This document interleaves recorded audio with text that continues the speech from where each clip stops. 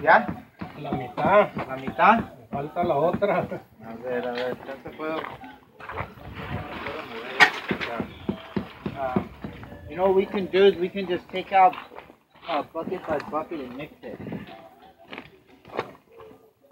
Bucket by bucket? Because that thing weighs like 500 pounds, right?